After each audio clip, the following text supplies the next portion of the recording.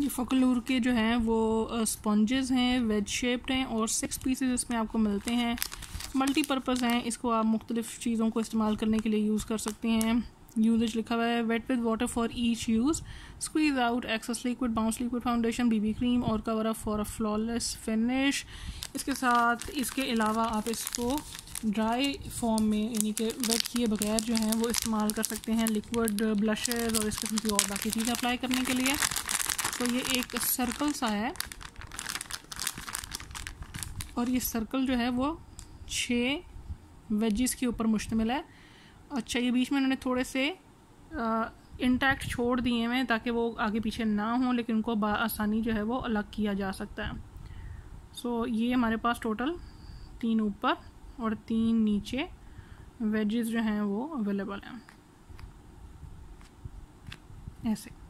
और इसको आप जैसे इस्तेमाल कर रहे हैं, और जब ये इस्तेमाल होके मतलब इसको डिस्कार्ड कर दें तो इस तरह से आप आसानी से इसको बार बार आसानी से रख सकते हैं यूज़ कर सकते हैं छः तक, और इसको स्टोरेज भी आसान रहेगी, क्योंकि ये इंटैक्ट रहेगा, आपस में खुलेंगे नहीं।